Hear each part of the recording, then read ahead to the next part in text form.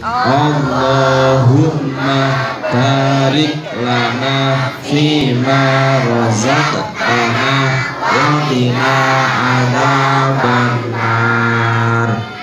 Amin amin ya rabbal alamin. Silakan dimakan makanannya sendiri-sendiri.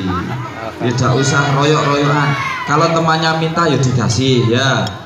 Kok pengen temannya minta lawai sampai ya dikai Oleh.